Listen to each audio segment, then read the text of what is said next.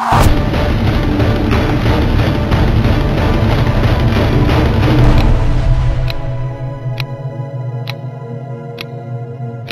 müzakirə saatında xoş gördük hər birinizi. Sizinlə mən Elçin Rəhimzadə və verilişimizin bugünkü qonağı Avropa İttifaqı Şərq tərəfdaşlığı Vətəndaş Cəmiyyəti Forumunun idarə heyətinin üzvü Zaur Əkbərdir.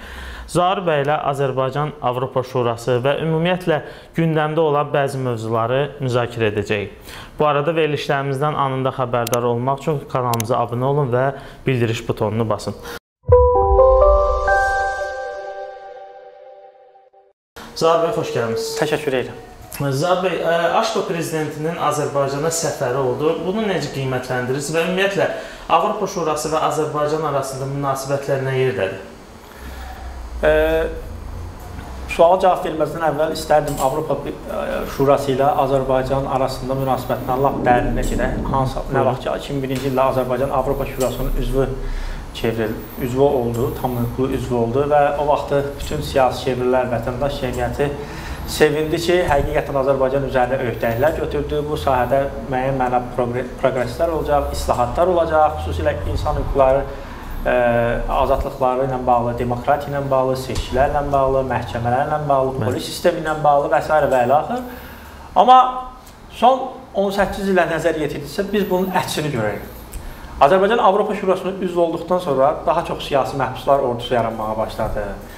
E, demokratiya, insan e, azadlıqları, fundamental azadlıqlarla bağlı kifayət qədər ciddi problemlər meydana gəlməyə başladı.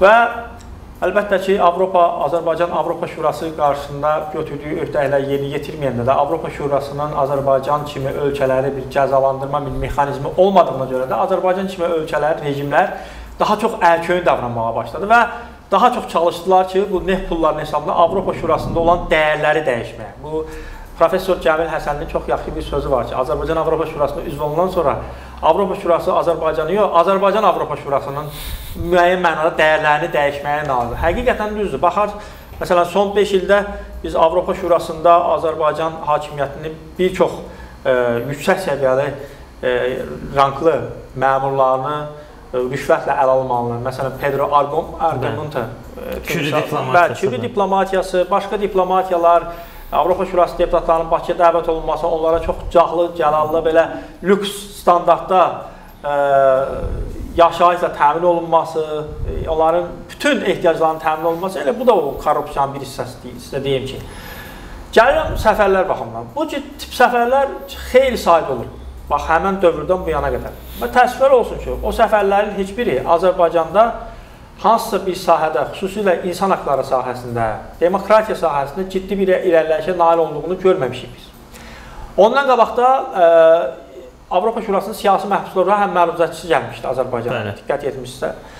Və o gedəndən sonra daha çox, deyək ki, ə, siyasi məhbuslara ə, həbsdə təzyiqlər olmağa başladı. Xüsusilə müstəqil vəkillərə. Mən Neymət Kərimliyə bilirsiniz, e, siyasi məhbus, e, jurnalist, həm də araşdırmacı jurnalist Əfqan muxtarı ilə görüşünə icazə verilməsi və bu gün də Əfqan muxtarlığı artıq 3 gün ki, aclıq bəli, etiraz olaraq aclıq aksiyası edir. Bu bir humanitar faciədir, fəlakətdir. Sözün həqiqi mənasında vəkillər vəkil öz e, deyərik müdafiə e, hüquqlarını müdafiə etdiyi şəxslə görüşə bilmir. Buna etiraz olaraq da Əfqan muxtarlığı acil aksiyası. Təsəvvür edirsiniz bu nə deməkdir? Digər məsələ isə e, yazılan Strasser adlı e, siyasi məhbuslarla bağlı həm mübarizəsi var idi. Azərbaycan hakimiyyəti onu e, imkan vermədi Azərbaycana gəlməyə. Mən xatırlayıram Strasserlə biz Berlində Bundestagda geri görüşmüşdük. Strasser açıq şəkildə deyir ki, Azərbaycan hakimiyyəti mənə təklif edir ki, gedim, yəni bütün ehtiyaclarımı ödəməyə hazırlar, deyirlər, gəl burada istirahət elə.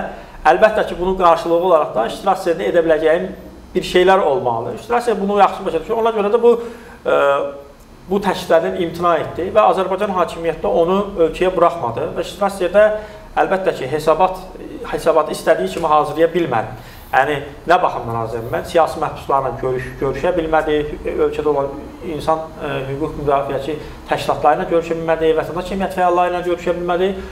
Ona görə də yəni Strasserin işi biraz yarımçıq oldu. Amma əlbəttə ki, Strasser kifayət qədər prinsipial və konkret mövqe qoydu ortaya Azərbaycanda insan haqlarının vəziyyəti ilə bağlı. Yəni bu alqışlanası məqamdır. E, indiki halda Avropa Şurasının prezidenti Azərbaycana səfərinin nəyisə dəyəcəyini, dəyişəcəyini e, inanmıram. Əslində heç mənim Avropa Şurasından indiki halda heç bir ciddi gözləntim də yoxdur. Bir, bir istisna olaraq deyim ki, hazırda Avropa Şurasının işlək və dem dinamik mexanizmi olan bir qurumu Avropa İnsan Hüquqları Məhkəməsi. Bəli. Başqa bir e, Avropa Şurasının hər hansı qəbul etdiyi qətnamədir, qərardır. Yəni bunlar e, çox dişsiz qərarlardır. Azərbaycan hakimiyyətində ə, e, təsir edə bilməyəcək. Yəni Azərbaycan hakimiyyətində bu qərarları vecinə almayacağı bir qərarlardır. Siz də toxundunuz Avropa məhkəməsi ilə bağlı kifayət qədər Azərbaycandan ora işlər daxil olur və kifayət qədər belə deyim, son zamanlar daha çox cərimələnmələr olur. Bu da e, açığını deyək ki, e, xalqın cibindən gedən pullar olur bu cəmiyyətə. E, necə düşünürsüz? Bu nə vaxta qədər davam edəcək? E, hər hansı bir dövlətə qarşı e, baskı və yaxud bir embargo söz konusu ola bilərmi ki, yəni bu qədər insan haqqları burada pozulur? Siz konkret İnsan Hüquqları Məhkəməsinin Azərbaycana münasibətindəsə bu kontekstdə, yəni Avropa İnsan Hüquqları Məhkəməsi bir növ Avropa Şurasının bir qurumudur. Yəni Avropa Şurasının qərarlarına tabi, amma müstəqil bir qurumdur və effektiv bir qurum deyim ki, insanların üst tutduğu. Mən hətta deyərdim ki, MDB məsələsində yəni sırf azadlıqlarla bağlı, demokratiya ilə bağlı, vətəndaş cəmiyyətinə mən ən çox ə, şikayətlərin getdiyi Bəli. ölkə məhz Azərbaycandır. Avropa İnsan Hüquqları Məhkəməsinə. Hələlik Avropa İnsan Hüquqları Məhkəməsinin e, cərimələ hökuməti cərimə e, etmələrində və cərimələrin verilməməsində elə bir ciddi problem yoxdur. Məsələn, mən var idi, məsələn, mən görürdüm, Əsabəli müəllimə görüşlər deyildi. Bəzi e, e, insanların deməli kompensasiyalar kompensasiya vaxt-vaxtında verilmir və yaxud da deyək ki, e, kompensasiyanı qırıq-qırıq verirlər deyək ki, e, bir dəfə verməli olduğu kompensasiya 2 ilə 3 illə tamamlayır. Amma istənilən halda bu proses gedir. Hələ elə bir e, e, narazılıq yaranmayıb. Amma belə bir olduğu halda mən bilən Avropa e, İnsan Hüquqları Məhkəməsi belə bir qurum var ki, Azər hakimiyyətləri məcbur edirlər ki, o kompensasiyanı ödəsinlər. Ödəməsələr belə, yəni ən son məqamda belə o hökumətlərin deyək ki, Avropada olan hansı mülklərindən deyək ki, satıb hansısa gəlir əldə edib onları ödəmək. Amma indiyənə qədər belə bir halla rastlaşmamışıq. Amma bu demək deyil ki, e, kompensasiyanın verilməsi sürətlə gedir. Xeyli incitilmələr var, amma qırıq-qırıq da olsa verirlər. Hələlik Azərbaycan hakimiyyəti nə qədər istəsə də Avropa İnsan Hüquqları Məhkəməsi ilə e, aralarında olan o, o prosedurları pozmağa cəhd göstərsə də hələlik buna nail ola bilmir. Yəni Avropa İnsan Hüquqları Məhkəməsi buna rədd cavab verir. Hələ proses işləyir. Yəni gecəni olaraq Avropa İnsan Hüquqları Məhkəməsinin e, qaydaları. Siz bu proseslərdən xəbərdarsınız. Belə deyək, Avropanın ən çox dəyər verdiyi söz azadlığı Azərbaycanda demək olar ki, tamamilə ləğv olunub, belə bir hala gəlib çıxıb. E, jurnalistlər öz fəaliyyət, peşə fəaliyyətlərini yerinə yetirə bilmir, həbsdə olanlar təzyiqlə üzləşir. E, necə düşünürsünüz? Məsəl üçün dünən e, Amerikanın səsinin müxbiri, adi bir çəkiliş eləyən Bəli Taxtıq bəy həbs olunub. Bu yəni bir kuryoz bir hadisədir, belə deyək. Necə düşünürsünüz? Avropa Şurası ümumilikdə Azərbaycanda bu vəziyyəti vəziyyətə nə qədər dözümlüdür və nə nə zamana kimi dözümlü olacaq? Valla mən açığı bayaq qeyd etdiyim kimi nə vaxta qədər dözümlü olacağı, dözümsüz olacağı ilə bağlı məsələnin üzərində daha çox baş sındırmaq istəmirəm. Aydın məsələdir. Mənim üçün Avropa Şurası e, dişsiz bir qurumdur. Yəni avtoritar rejimlər üçün, xüsusilə Azərbaycandakı Azərbaycan kimi avtoritar rejimlər üçün məhz ifadə azadlığının təmin olunması ilə bağlı, e, media azadlığının təmin olunması, sərbəst toplaşma azadlığının təmin olunması ilə bağlı bu məsələlərdə ə, hər hansısa bir dirəniş göstərib nəticəyə nail olması ilə bağlı Avropa Şurasından heç bir ə, ciddi gözləntim yoxdur. Məsələn, mənim özüm Avropa İttifaqı Şərq Tərəfdaşlıq Vətəndaş Cəmiyyət Forumu idarə etdirəm və Mən deyə bilərəm ki, əminliklə təəssüflər olsa deyə bilərəm. Azərbaycan hətta Avropa İttifaqı çəx tərəfdaşı proqram çərçivəsində də ən geridə qalan ölkədir öhdəliklərin yerinə yetirmə. Hətta Belarusdan sonra artıq son 2 ildə Belarus Azərbaycana xeyli dərəcə üstəliyib. Belarus ilə Avropa İttifaqı arasında insan hüquqları və demokratiya dair dialoq başlayıb, dinamik dialoqdur. Stabil, e, bu stabil olaraq gedir. E, artıq 2 gün 2 2 gün bundan əvvəl Belarus hökuməti Avropa İttifaqı üzvü olan vətəndaşlara Belarusiyaya gəlməsi ilə bağlı viza sadələşdirmə xeyli dərəcədə yüngülləşdirdi. Bəli, bu bu səviyyələrdə əməkdaşlıqlar gedir. Amma təəssüflər olsun ki, Azərbaycan hakimiyyəti hələ də Avropa İttifaqı ilə bu strateji tərəfdaşlıq ətrafında bir sıçan pişik oynayır. Bəli. Amma sevindirici bir haldır ki, Avropa İttifaqı bu dəfə Azərbaycan hakimiyyətinə bu sazişlə bağlı, demokratiya, insan haqları ilə bağlı hansısa bir güzəştə getmək e, niyyətində görünmür. O məsələlərdə daha çox prinsipial, xüsusilə QHT qanunvericiliyi ilə bağlı. Mən sizə deyim ki, bu strateji tərəfdaşlıq sazişinin belə gecikməsinin əsas səbəbləri rəsmi Bakıdır. Hı -hı. E, və Avropa İttifaqı hər an hazırdır bu sazişi imzalanmağa. E, burada əsas məsələlər, problemlər nədən ibarətdir? Yəni Avropa İttifaqının e, o sazişdə görmək istədiyi demokratiya, insan haqları, fundamental azadlıqlarla bağlı məsələlər İkincisi, aviasiya sahəsinin bölüşülməsi Avropa İttifaqına, yəni müəyyən güzəştli e, güzəştlərin olunması. Çünki Avropa İttifaqına şərq tərəfdaşlığı ölkələrinə daxil olan ölkələrin bir çoxu demək olar ki, bu sazişi imzalayıblar. Ermənistan istisnalı, çünki Ermənistan Avrasiya İttifaqının üzvü olduğuna görə ə, hətta Qatar da imzalayıb. Avropa Hı. İttifaqının üzvü olmayan, heç bir əməkdaşlıq sazişi imzalamayan. Yəni birazdan bu proses genişlənəcək və Azərbaycan ortada çək qalacaq. Məcbur olacaq bunu imzalasın. Düzü bilirsiniz, e, bu Avropa İttifaqının güzəştli məkandır. Yəni Avropa standartları, öhdəliklərini qoydu. Güzəştməsi yəni bütün Avropa İttifaqı və qonşuluq ölkələrinə aid olan bir sazişdir. E, bu məsələ keçdi, amma Azərbaycan hakimiyyəti daha çox yəni e, bunu Avropa İttifaqının üzərinə atır ki, atır ki, e, bunu keçməsinə əsas səbəbi Avropa İttifaqının sənəddə Azərbaycanın ərazi bütövlüyü ilə bağlı maddələrin əks olmaması. Əslində bu yalan bir şeydir. İndiyənə qədər Şərq tərəfdaşlığı sammitində 2016-cı ildə Brüssel sammitində, yəni Avropa İttifaqının digər ə, ə, yüksək ali qurumlarında, müzakirələrdə, müzakirə qərarları Azərbaycanın ərazi bütövlüyü bütün sənədlərdə öz əksini tapıb. Hətta Avropa Parlamentinin qətnamələri də var bununla bağlı. Mən hesab eləmirəm ki, bu ə, ə, müzakirələrin və sazişin imzalamanı gecikdirən amildir. Əslində mən düşünürəm ki, Azərbaycan hakimiyyəti bu amili önə çəkməklə məsələni e, digər fundamental məsələlərdən yayındırır və bu yaxınlarda iyul ayında Avropa İttifaqı Şurasının prezidenti Donald Tusk Bakıya səfər eləmişdi. Elə görüşən görüşə dəvət alınan biri mənim. Donald Tusk da bir mənalı olaraq qeyd etdi ki, bizim üçün Azərbaycanın ərazi bütövlüyünü e, hansısa bir sənəddə əks olunması kimi bir problemimiz yoxdur. Bunu e, bütün yerlərdə deyirik. Biz Azərbaycanın ərazi bütövlüyünü, suverenliyi dəstəkləyirik.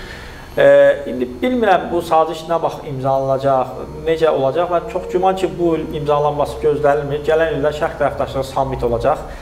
Ümid eləyək ki, o vaxtda imzalanar. Biz həqiqətən də Azərbaycan bu prosesdə kənara geri qalır. Çünki bilirsiniz, şərq tərəfdaşlığı kifayət qədər ciddi bir qurumdur.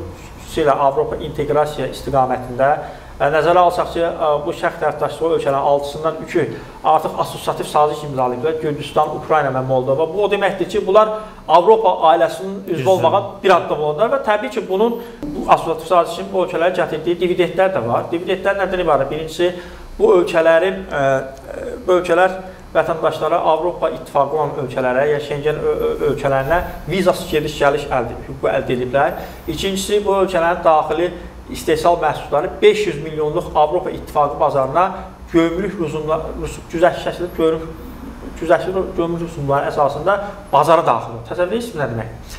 Və hər ildə ə, Avropa İttifaqı bu üç assosiativ saziş imzalayan ölkələrə təhsil, səhiyyə və nəqliyyat infrastrukturunun təkmilləşməsi ilə bağlı müxtəlif məbləğlərdə ə, güzəşsiz ə, güzəşsiz ə, deməli güzəştli, üzr istəyirəm, güzəştli kreditlər ayırır.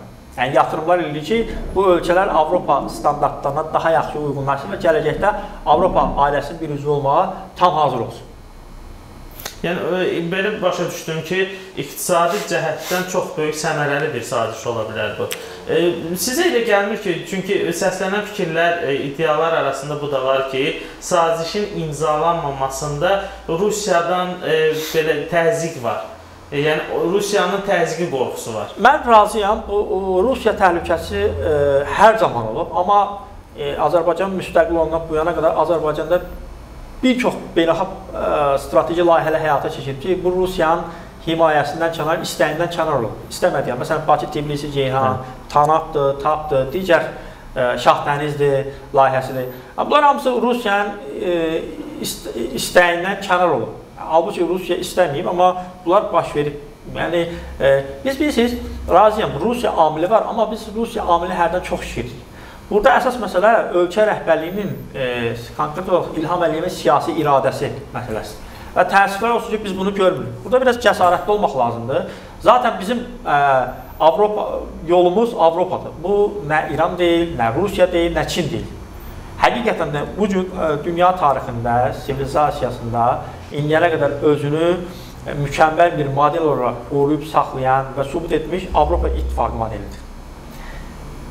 Mənim sualım e, bir sinəyə görə verdim mən bu sualı. Çünki hər dəfə Avropadan kimsə nümayəndə bura gəlmək istəyəndə ondan öncəyə Rusiya nümayəndəsi gəlir və sanki belə deyim, gizli missiya ilə xəbərdarlıq üçün gəlir, sonra Avropa nümayəndəsi gəlir və burada belə anlaşılmazlar olur, e, imzalanmamış sənədlər olur bunun fonunda. Siz ümumiyyətlə Avropa Şurası Parlament Assambleyasının prezidentinin Azərbaycana gəlişi zamanı hüquq müdafiəçiləri ilə görüşünü necə qiymətləndirirsiniz? Bu axışdan bu yaxşı haldır ki, gəlirlər, ən azından hüquq müdafiəçilərinin fikirlərini dinləyirlər, hesablaşırlar. Amma tək bu kifayət deyil. Yəni Azər bu bilirsiniz, Azərbaycan hakimiyyəti onların verdiyi mesajları e, nə cür yerinə yetirəcək, əməl edəcək. Bu gün Azərbaycanda bizim hələ də 70 siyasi məhbusumuz var, bilirsinizmi? Şərq tərəfdaşlığı ölkələri içərisində Azərbaycan e, yəni liderdir. Hətta Belarusiyada deyir siyasi məhbus yoxdur. Təsəvvür edirsiniz? Yəni bu məsələləri aradan qalır. Məncə bu siz Rusiya amelini nəyə görə deyirəm çox? Yəni bu 70 siyasi məhbusun azad olunması ə, e, Rusiyanın hansı marağında olmaya bilər. Yəni Rusiya bura hansısa bir formada təklif və yaxud da QHT qanunvericiliyin deyək ki, təkmilləşdirilməsi, vətəndaş cəmiyyətində normal mühit yaradılması fəaliyyət üçün. Bu yəni Rusiyanın burada bu məsələdə hansı basqısı var? Burada elə bir strateji bir qlobal proyekt yoxdur. Yəni sırf sən ə, öz vətəndaşların, xalqın üçün düşünürsən. Və bir məsələ də var ki, yəni sən ə, ölkə rəhbərliyi ə, konkret olaraq İlham Əliyev və onun komandası ölkədə olan bütün nəfəslikləri bağlaya-bağlaya gedir.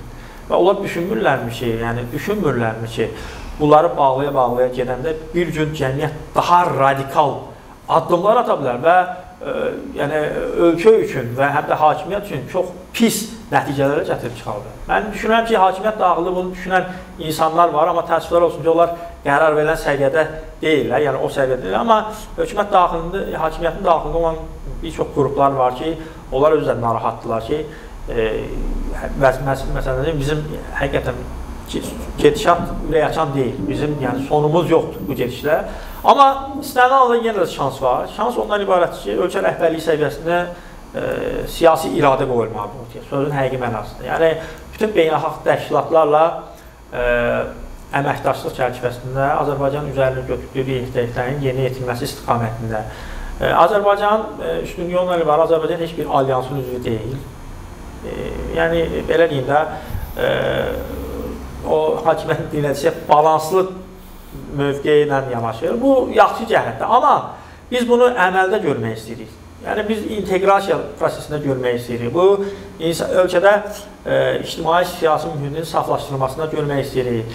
E, iqtidarın sözün həqiqi mənasında ölkənin həqiqi e, güclü demokratik qüvvələrinin bir masa arxasına gəlib müzakirəsində görürük, vətəndaş cəmiyyətinin müzakirəsində görürük. Media yeni nəfəsin verilməsində görürük. Bu gün media orqanları belə deyək də, söhbət həqiqi müstəqil orqanlardan, elə Kanal 13-ə də aiddir. Yəni e, balaca bir otaqlarda durub öz səsini ictimaiyyətə çatdırır. Sağ olsunlar, fədakarlıq eləyirlər. İstənilən halda müəyyən bir çevrələrdə olanda səsini işlə. Amma bu belə olmamalıdır. Yəni medianın kifayət qədər imkanları olmalıdır. Deməli reklam e, reklam biznesindən istifadə etməlidir. Bunun üçün kifayət qədər üstünlüklər verilməli. Amma təəssüflər olsun bu gün belə deyil, yəni iqtidar deyək ki, 90% 95 var öz əməyi altında himayə edir. Televiziyalarda, saytlarda onları himayə edir. İstəmə, istədiyi kimi onlara ə, e, tapşırıqlar verir. Tapşırıqlar verir. Onların ə, e, fəaliyyət üçün ə, e, mümbit şərait yaradır. Amma təbii ki, bu diskriminasiyadır. Bu ə, media azadlığı deyil. Əgər kimsə Azərbaycan hakimiyyət nümayəndələri hərdən deyirlər, insanlar deyək ki, mən burada oturub danışıramsa, iqtidarı, deyək ki, ölkə başçısı tənqid bu e, ifadə azadlığı. Xeyr, əslində bu ifadə azadlığının bir hissəsidir. İfadə azadlığı olur. İnsanlar işlədiyi yerlərdə, çalışdığı yerlərdə fərqi yoxdur. İctimai müəssisələr olsun, dövlət müəssisələri olsun. Öz istəklərini, etirazlarını istədiyi formada çatdıra bilirlər. Gəlin baxaq, bu gün Azərbaycanda bunu edə bilirlərmi? Xeyr. Kimsə edə bilərmi? Xeyr. Etdiyi halda nə olacaq? İşdən qovulacaq. Ya ə, həbsə düşəcək. Ən yaxşı halda işlən. Əlində olan bütün biznes imkanları alınacaq. Bəli. Deyəcəklər ki, biz sənə bu körəyi veririk, şərait yaxın. Yəni bu məsələ bundan ibarətdir. Biz məsələyə geniş yanaşmaq lazımdır, fundamental yanaşmaq lazımdır. Cənab elə mediaya toxundunuz. E, bayaq siz qeyd etdiniz, e, Şengen zonası ölkələri arasında gediş-gəliş Azərbaycan üçün asanlaşa bilər. Amma e, hal-hazırda bu saziş yoxdursa da, ölkədən çıxışına belə qadağa qoyulan keçmiş siyasi məhbuslarımız var. Onlardan biri də kanalımızın rəhbəri Əziz Orucovdur. Ümumiyyətlə e, bu e, belə deyim, e, həbsdən buraxılandan sonra da təzyiq göstərməyə sizin münasibətinizi öyrənmək istərdim. Əslində bu da bir təzyiqin bir növüdür. Yəni təzyiq o deyil ki, polis gəlsin, dəyənək vursun, səni evdə izləsin, hara gedirsən izləsinlər. Zaten hamını izləyirlər istədikləri kimi. Telefonlar bunlar bahalı-bahalı İsraildən texnologiya alıblar. Amma e, yəni bu nə verir dö hakimiyyətə, dövlətə? Məsələn, götürək ki, Əziz e, Orucov bizim e, dostlarımızdan biri, fədakar insandır, həqiqətən də ləyaqətli insandır. Bu adamın xaricə getməsi hakimiyyət üçün nə təhlükə yarada bilər? Və düşünsək ki, Əziz Orucovun ciddi müalicəyə ehtiyac var. Dəfələrlə müraciət edib aidiyyəti orqanlara ki, mən müalicə almaq üçün getməliyəm bilimdə. Yəni bu Əziz Orucov vətənə e, bu dövlətə, xalqa bağlı adamdır. Yəni bunun gedəcək bir yeri yoxdur. Mən Əzizi yaxından tanıyıram. Yəni e, çox emosional adamdır. Həqiqətən bu ölkü ilə bağlı, ölkənin gələcəyi ilə bağlı düşünən. O cümlədən də bizim Əziz kimi digər jurnalist dostlar, Natiq Cavadlı, məsələn Natiq Cavadlının da ölkədən çıxışını qadağa qoyulmuşdu. Bəli. Onunla bağlı, onunla yanaşı bir sıra Meydan TV-nin jurnalist əməkləri. Mən çox yaxşıdır ki, onlara olan məhdudiyyət aradan götürür. Mən çox istərdim ki, bu Əzizə də üzərində olan məhdudiyyət aradan götürülsün. Ümid eləyək ki, e, yaxın zamanlarda götürərlər. Amma ümumiyyən media olaraq həqiqətən ölkədə bir media bir baskı var. Məsələn, e, bu özünü deyək ki, e, Azadlıq radiosu bilirsiniz, hələ də bloklanıb, e, Meydan TV bloklanır. Və deyək, deyək ki, digər ə, jurnalistlər qalxır çox əxlaqsız, hakimiyyət çox əxlaqsız və ləyaqətsiz bir kilçin kampaniyası Sevinç Osman qızına qarşı.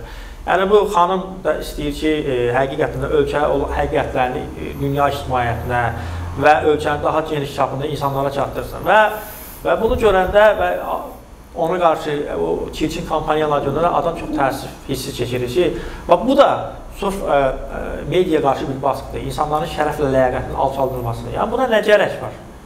Zaten e, sosial şəbəkələrin, onlayn medianın gücü o böyüklükdədir ki, Azərbaycan hakimiyyəti nə qədər istəsə də onu məhdudlaşdırmır. Çünki Azərbaycan hakimiyyətinin işi işi də bir bir çox nazirliklərin işi də elektron hökumət var. Onun üzərində qurulur. Yəni bunu tam məhdudiyyət qoymaq mümkün deyil müasir dövrdə. Zahir bəy, e, siz də qeyd etdiniz, e, Xaricdə yaşayan azərbaycanlılarımızdan danışaq. Bu günlərdə e, müxalifət və iqtidarın belə deyək, dəyirmi masası keçirildi və orada e, mövzu xaricdən e, xarici ölkələrin Azərbaycana baskısı mövzusu var idi e, və nədənsə o baskını gətirdilər, çıxartdılar xaricdə yaşayan siyasi fəallarımıza.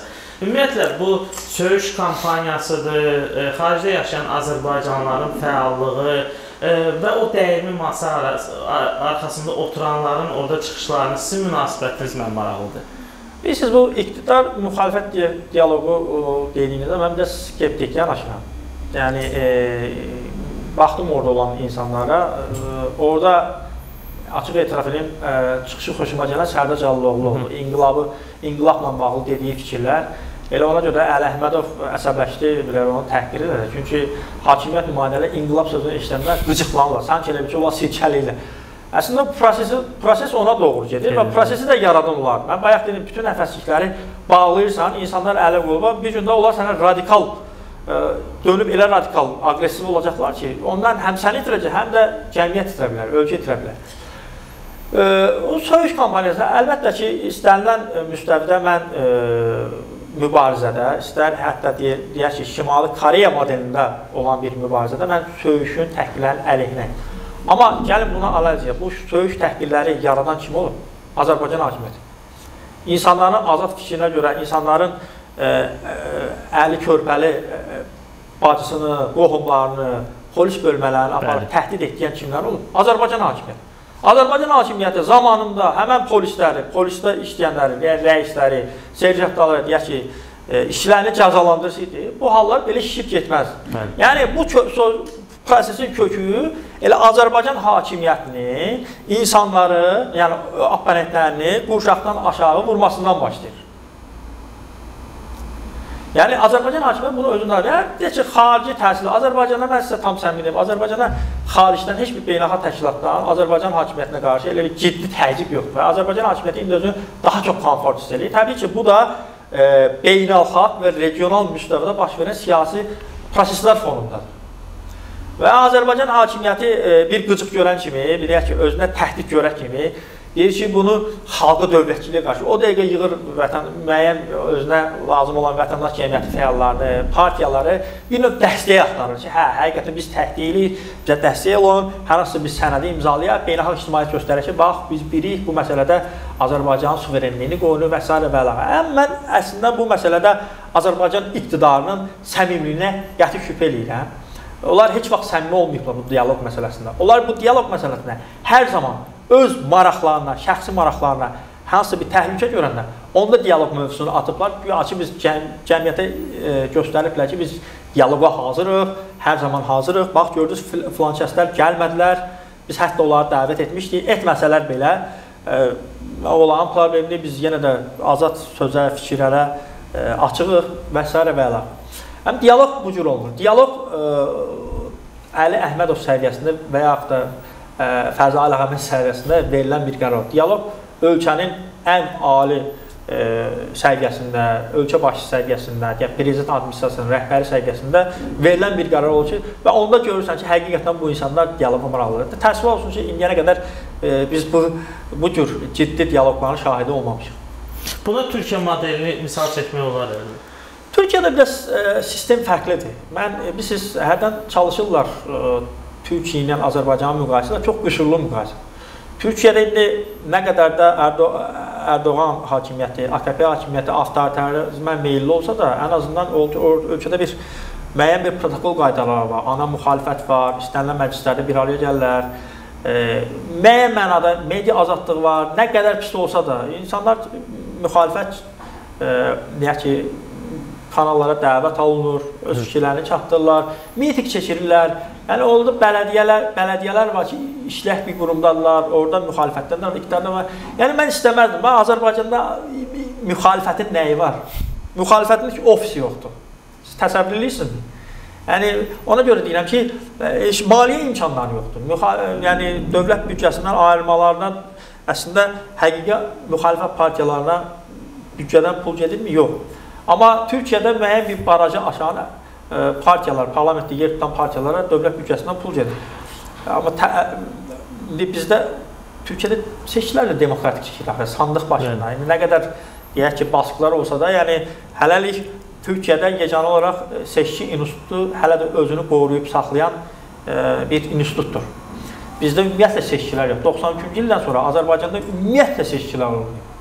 Yəni mən seçkilər olub, sadəcə yəni seçkinin keçirilməsi standartları, qaydalarından söhbət gedir. Türkiyə modelində bəyənilən mövzulardan biri də ümumilli məsələlərdə müxalifətli iqtidarla hamının birləşməsidir ki, bizim cəmiyyətdə çox təəssüf ki, burada da ayrı seçkiliklər, parçalanmalar var. QHT-lərin qeydiyyatı və ümumiyyətlə QHT-lərin fəaliyyəti sizcə qənaətbəxşdirmi? Ölkədə müstəqil QHT-lərə qarşı hələ də məhdudiyyətlər davam edir. Mən sizə deyim ki, mən ə, e, üzv olduğum Milli Platforma Şərq Tərəfdaşı Vətəndaş Cəmiyyəti Forumu, yəni həm də Milli Platforması var. Milli Platformanın 5 aktiv üzvü Leyla Əliyeva bu gün Oxford ə, e, deyək ki, universitetində dərs deyir İngiltərədə. Ə, e, Rafiq Təmirozovdur, Vətəndaş Cəmiyyətləri. Elçin Abdullayevdir, elə Kanal Olçun yaradıcısı Anar Orcov və iqtisadçı Zöhrəb İsmail bu adamların ölkə, ölkə, ölkəyə gəlməsində ciddi problem var, Bəli. əngəl var. Və bunlar o QHT qanunvericiliyi, mültəci qanunu qəbul olunan 2014-də ondan sonra məcbur olmuşlar ölkəni tərk eləsin. Bəzi vətəndaş cəmiyyəti nümayəndələri onların üzərində hələ də cinayət işləri var. Və ə, e, qanunvericilik imkan vermir ki, müstəqil vətəndaş cəmiyyəti təşkilatları, ə, e, əvvəlki qaydada, söhbət 2014-cü ilin əvvəlki qaydada iş görə bilsinlər. Bu cür regionlara heç bir vətəndaş cəmiyyəti müstəqil QHD gedib iş apara bilməz. Həmən dəqiqə polis baskını olacaq. Soruşurlar ki, prezident administrasiyasından icazə var. Amma hökumət yönümlü təşkilatlara, QHT-lərə, xüsusilə Qonqolara hər yerdə yaşıl işıqdır. Zaten onların gedib e, keçirdiyi mövzular da belə deyək, o sarı sifə toxunmur. Demokratiyadır, insan hüquqlarına razılaşdırılmış mövzulardır. Amma e, mən hələ 5 il keçib bu qanun qəbul olunan, mürtəci qanun qəbul olunan heç bir irəliləyiş e, əldə olunmuyor. Bircə irəliləyiş odur ki, e, deyək ki, vətəndaş cəmiyyəti fəalları fərdi olaraq e, xaricdən hər hansı bir e, donorla servis kontrakt, xidmət müqaviləsi bağlayıb fəaliyyət göstərə bilər. Amma təsəvvür edin, servis servis xidmət müqaviləsi bağlayıb siz fəaliyyət göstərəndə onda QHT fəalı yox, sahibkar olursunuz. Təsəvvür edirsiniz, yeni tendensiyadır, maraqlı bir tendensiyadır. Amma istənilən halda bilsən ölkədə köklü dəyişiklik, islahatlar olmalı. Yəni söhbət tək qeyri qanunvericiliyə getmir. Yəni sərbəst toplaşmaq azadlığı ilə bağlı, ifadə azadlığı ilə bağlı, media azadlığı ilə bağlı, xüsusilə ə, e, hüquq mühafizə sistemi ilə bağlı, məhkəmə islahatları olmalıdır, iqtisadi islahatlar olmalı. Yeri gəlmişkən bayaq unutdum deməyi, Avropa İttifaqının Azərbaycanla imzalayacağı e, strateji saziş, e, tərəfdaş sazişində irəli sürdüyü əsas ə, tövsiyələrdən biri budur ki, Azərbaycan Ümumdünya Ticarət Təşkilatının üzvü olsun. Bəli. Siz təsəvvür edirsiniz, Azərbaycan Ermənistan Ümumdünya Ticarət Təşkilatının üzvü, Belarusiya üzvü, Ukrayna, Moldova, ə, Gürcüstan üzvü, Azərbaycan bunun üzvü deyil. 97-ci ildən Azərbaycan danışıqlar və Ümumdünya Ticarət Təşkilatına hələ də üzv olmağa maraq göstərir. Bilirsiniz niyə maraq göstərir? Ona görə ki, Ümumdünya Ticarət Təşkilatı üzv olduqda Ümumdünya Ticarət Təşkilatının nümayəndələr gəlib oturacaqlar Azərbaycan gömrük sərhədində, aeroportda. Və bu da müəyyən mənada monopolistlər üçün ciddi baş ağrısıdır. Onlar istəmirlər ki, milyardlarından olsunlar. O istəyirlər ki, oğrasınlar. Budur məsələ. Və əlbəttə ki, bu ölkədə olan bu oğramış milyard sistemi həm də o məmurlara təşkil etmir. Ölkədə başında duran sistem var da, yəni baş sistem, premial sistemdir. O paylanır hər tərəfə. Ona görə də Azərbaycan hakimiyyətində bununla bağlı bir səmimi bir mövqe, monolit mövqe yoxdur üzv olmanın. Ona görə də istəmir. Sağ bəy, e, Elmar Məmmədiyarov e, dünən ATƏT e, ATƏT-in Minsk qrupu ilə həm sədrləri ilə görüş keçirdi. Sizin şərhinizdən sonra belə deyim, biraz pessimist yanaşacağam mən bu məsələyə. Belə deyək ki, onda e, ATƏT Minsk qrupu ilə görüşmələr nəyə lazımdır əgər bunun bir təsiri olmayacaqsa?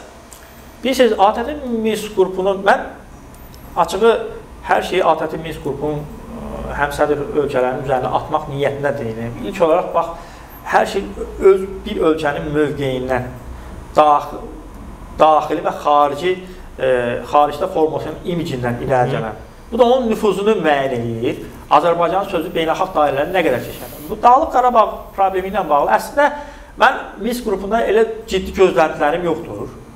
Burada Azərbaycan hakimiyyəti indiyənə qədər Dağlıq Qarabağla bağlı, Qarabağla bağlı, işğal olunmuş ərazilərlə bağlı ciddi bir lobbiçilik fəaliyyəti ortaya qoymalı idi. Bax, indiyənə qədər mən sual verirəm. Azərbaycan hakimiyyəti indiyənə qədər beynəlxalq müstəvidə hansısa bir ə, ciddi müsavatlar ala biləcək səviyyədə Qarabağdan bağlı filmlər çəkdiribmi?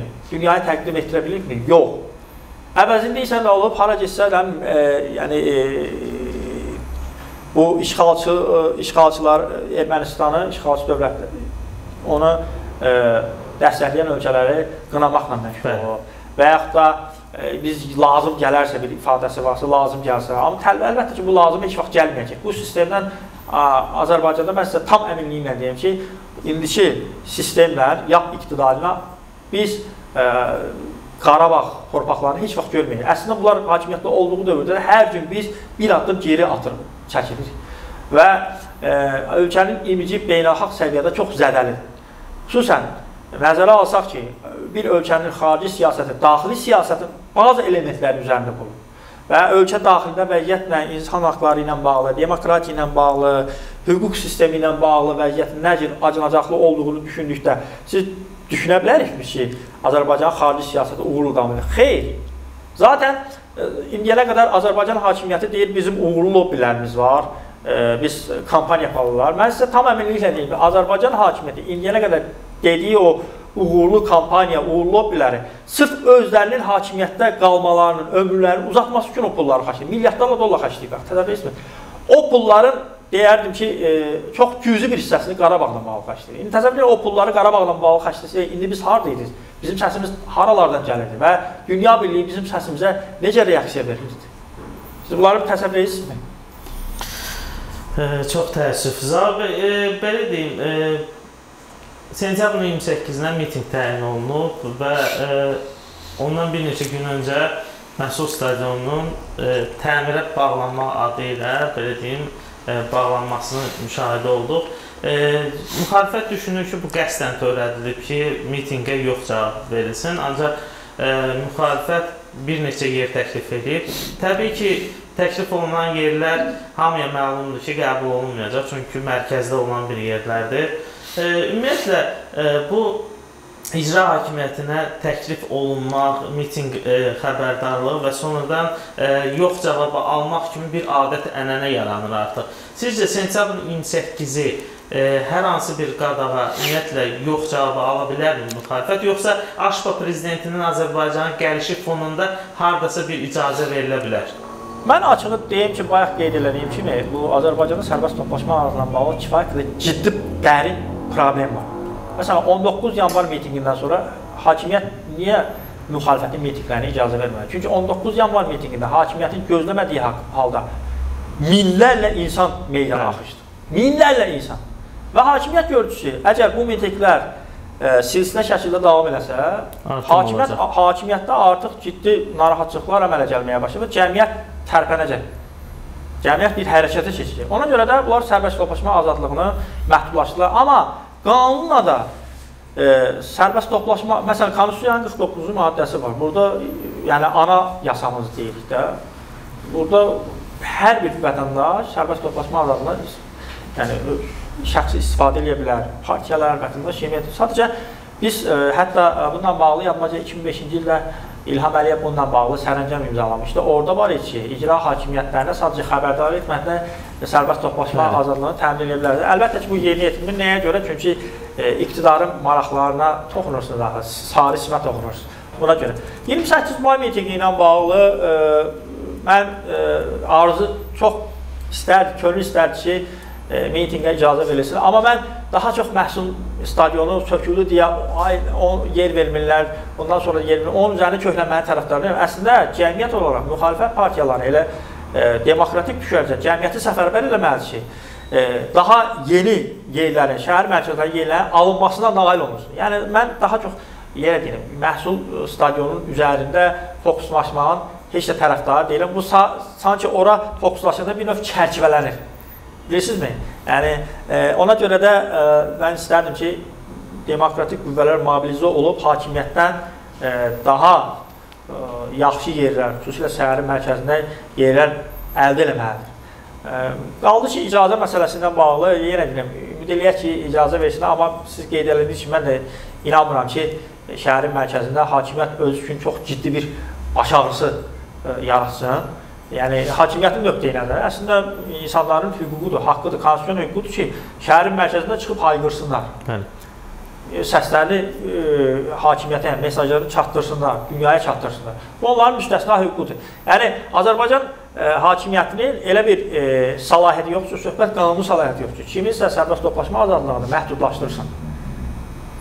Zaur bəy, və son sualım, e, yəqin ki, xəbərdarsınız, Bakı şəhər Baş Polis İdarəsi və Mətbuat Şurası e, jurnalistlərin peşə fəaliyyətini e, sərbəst həyata keçirməsi üçün belə bir qrup yaradıb, nəzarət qrupu belə deyək. E, və bu qrup qrup hər hansı bir e, qanun pozuntusu olarkən e, ora müraciət olunur və o təmin edir ki, jurnalist öz peşə fəaliyyətini həyata keçirsin. E, siz bu qrupun e, hər hansı bir e, belə deyim, keyfiyyətinə, hər hansı bir e, effektivliyinə inanırsınızmı? Bilirsiniz, e, ilk sual gəlir. Mətbuat Şurası e, müstəqil qurumdur. Və yaxşı olar ki, e, polis polis sistemi ilə Daxili İşlər Nazirliyi öz polislərinə e, tapşırıqlar versin, təlimlər keçsin, jurnalistlərlə necə normal davranma qaydalarını versin. Elə dünən e, dəyərli, qocaman jurnalist, peşəkar jurnalist Tapdıq Fərhadoğluya qarşı törədilən həmən o hərəkət bir daha göstərir ki, e, ümumiyyətlə polis e, heç jurnalistlərlə adi davranış qaydalarını bilmir. Əlbəttə ki, polislərin hamısına aid eləmirəm, amma əksəriyyətinə aid eləmirəm. Yaxşı olar ki, Daxili İşlər Naziri özə öz e, işçilərini, polislərini özləri təlimatlandırsın. E, onlara davranış qayda jurnalistlərlə, cəmiyyətlə, vətəndaşla, e, deyək ki, demokratik düşərgə ilə öz etirazını ifadə edən vətəndaşlara davranış qaydalarını öyrətsinlər onlara. Yəni insanlara zor tətbiq etməklə, aqressiya göstərməklə, dəyənək göstərməklə bu uzun davam edə bilməz. Bilirsiniz bu e, mən örnəyə bir misal verim. Buyurun. Bu qaynayan qazan var da, düzdürmü? Siz o qay qazan qaynayanda qazanın qapağını aralı qoyursunuz ki, hava çıxsın. Və siz təsəvvür edin, o hava çıxmağa qoymasa, qazanın qa- qapağını elə üstündə saxlasın, nə olacaq? Təzyiq yığılır, qazanın qapağını ə, təsir əks təsir verər, tullayacaq. Bəli. Yəni bu cəmiyyətdə olan proseslər də, yəni bu qanuna uyğunluqdur.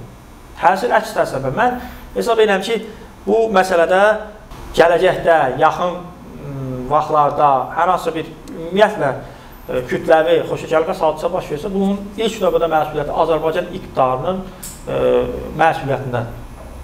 Bəy, təşəkkür edirəm. Çox sağ olun, sağ olun.